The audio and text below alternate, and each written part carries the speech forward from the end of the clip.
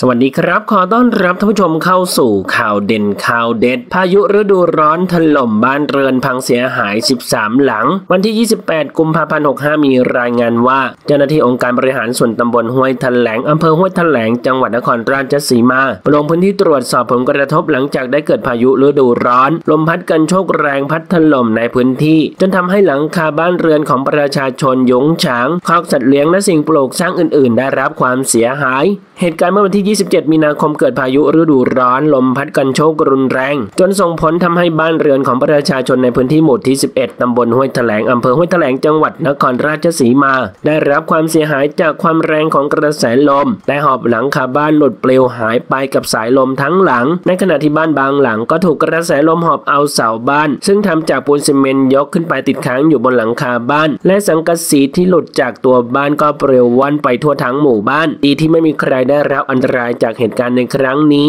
จากการตรวจสอบของเจ้าหน้าที่องค์การบริหารส่วนตำบลพบว่า มีบ้านเรือนของประชาชนได้รับความเสียหาย 13 หลังคาเรือน ส่วนบ้านเรือนประชาชนบางหลังที่เสียหายเล็กน้อยและยังไม่แจ้งเจ้าหน้าที่ ยังมีอยู่อีกจำนวนมาก ขณะนี้อยู่ในระหว่างการเข้าตรวจสอบเพื่อประเมินความเสียหาย และดำเนินการช่วยเหลือตามระเบียบของทางราชการโดยเร็วที่สุด เนื่องจากในพื้นที่อาจจะยังมีฝนตกต่อเนื่องไป